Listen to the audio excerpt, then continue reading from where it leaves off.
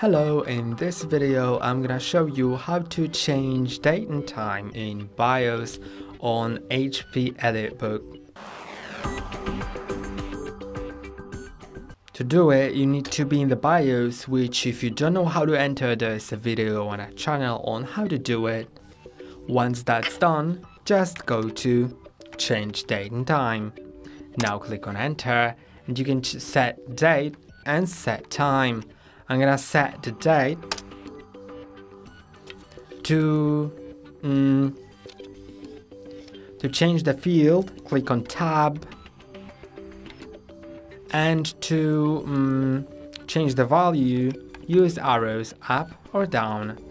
To apply the changes click on enter and to cancel and exit click on escape. That's all for today. Don't forget to like and subscribe. See you next time Bye.